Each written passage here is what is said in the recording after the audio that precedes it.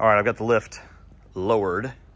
Uh, I figure I'll give you a quick walk around of the exterior. We'll start up front. Once again, sorry about the sunlight coming from the back of the door. It kind of blows out the exposure. But I want to show you the car.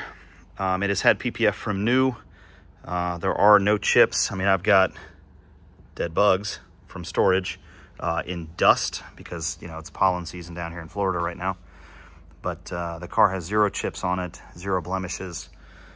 Doesn't have any swirl marks. You know, it's been driven 500 miles and uh, it's had the PPF on it the entire time. Like I said, I do recommend the PPF be replaced at some point in time.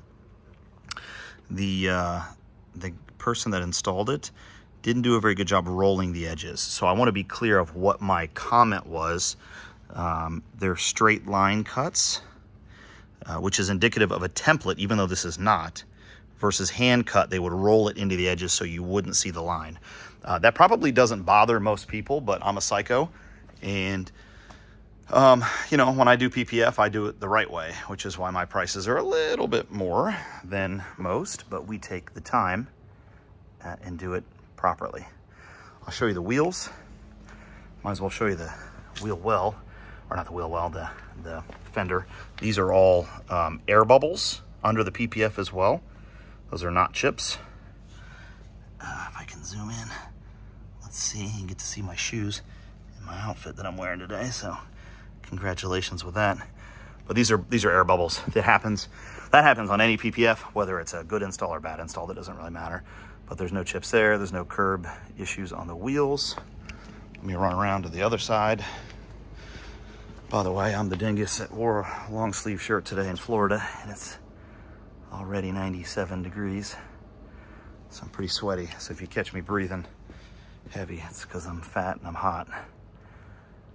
All right, there's the other wheel. Let me show you the fender line. This is um, just a dirt mark that's actually on the PPF.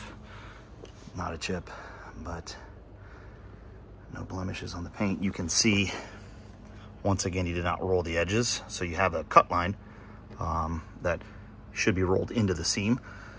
So you wouldn't see, you just wouldn't see that. Um, those are the types of things that bother me on uh, cars like this. Rear end is great. Let's see if I get this thing to focus. I'm using an iPhone, so bear with me.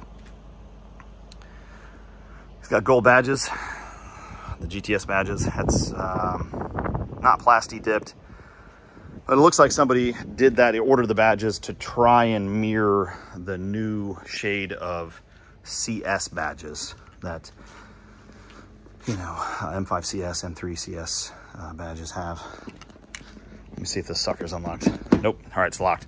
I'm going to stop here. I'll get the keys and I'll do a third video.